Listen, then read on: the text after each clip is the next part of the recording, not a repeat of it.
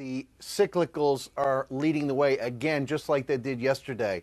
Uh, to see the energy stocks, some of the financials, some of the industrials outperform, and some of these uh, big high PE growth stocks lag a bit. That's uh, different from where we've been most of this year. I think that's telling us that uh, we're going to have an economy that's okay, and we're eventually going to get a vaccine, and we'll eventually have a president. So, so you think it's pricing out the risk of a contested election? You think it has to do with, with the fact that Biden has held his lead in the polls, and, and this whole notion of a blue wave comes big stimulus?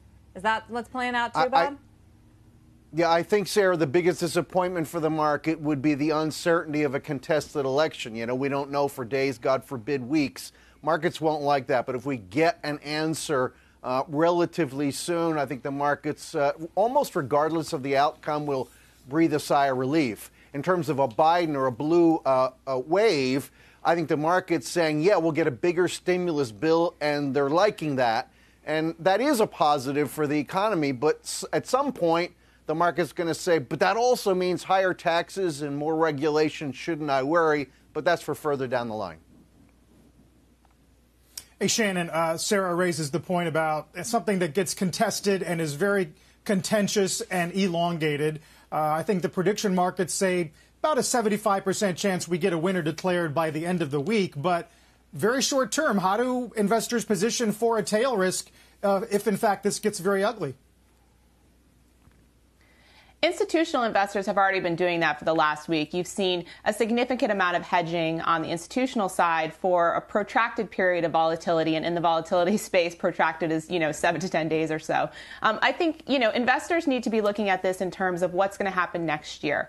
And you know, to Bob's point, we're seeing we saw significant stimulus from the Fed, we saw significant fiscal stimulus already, and regardless of what happens in this election, we will see more stimulus. It may look different between uh, you know a blue wave or a split Congress. And so I think that over the course of the next week, you know, looking for opportunities to continue to add to asset classes like equities, like perhaps high yield bonds, those more risk on asset classes to position your portfolio for 2021.